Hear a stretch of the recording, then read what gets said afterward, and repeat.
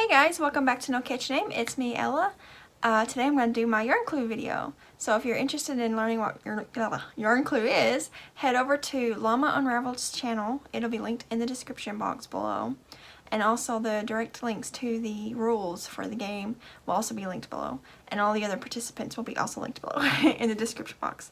But, so for my pattern, it's actually one that I wrote myself and it's going to be available for free on my Facebook group as a PDF download and it'll be on there today. But um, when she when she mentioned us to do this uh, yarn clue, she asked for it to be patterns. Either we write them or already existing patterns that would be good for um, the holidays, like for gifts and such. So I thought, uh, I have a lot of people in my family that I just buy gift cards for or um, just give them cash. So I wanted to make a little container to gift gift cards or cash in. So I made this pattern. It's a little wonky looking because this is the first one I made. but yeah, so it's basically a gift card holder and it's shut with a button. So you just open the button and there's a pocket in there for you to slip a gift card down in or cash, whichever.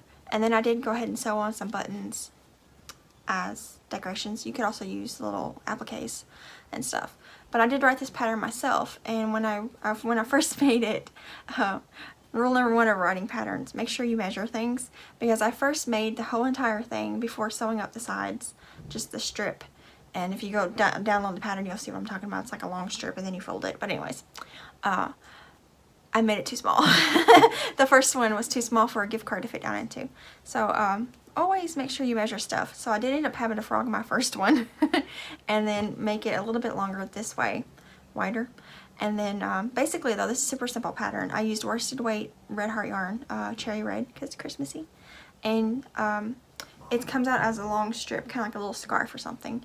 And all you need to know how to do is single crochets and decreases and uh, a slip stitch. So um, I chained and go went back and forth to make it long and then I decreased a little bit at the end to make this point like the envelope closure thingy. and um, then uh, the buttonhole is not even a buttonhole, it's just between two stitches. And you just uh, single crochet up the sides and you have a little pocket envelope. And then I just, I did sew these on with thread. You could probably use fabric glue also or sew on little appliques, whichever, or nothing at all. You can use, you know, variegated yarns, whatever. It's just cute. I thought it'd be cute. I have a lot of teenagers and stuff that I just give them gift cards because it's easier. So I just gotta get a, get a gift card. Stick it down in there, close it up, Merry Christmas. or Happy Birthday, you know, whatever. You can change the colors of it. But that's my pattern. Ah. But like I said, it'll be available for free download on my Facebook group. I got a few free patterns over there if you're interested to go check them out. And yeah, but definitely check out all the other people listed below for the Yarn Clue event. And let's see here. I'm going to try to see. The last day is on September 21st of the people doing it. Then the 22nd is when Llama Unraveled We'll do the giveaway video.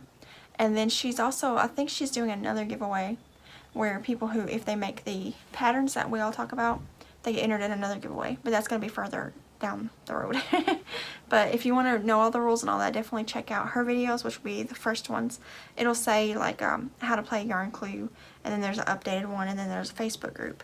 So definitely check out all the links in the description box and play along and try to figure out who frogged their project. And um, try to win the prize. but yeah, I'll see you guys in the next video. Bye guys.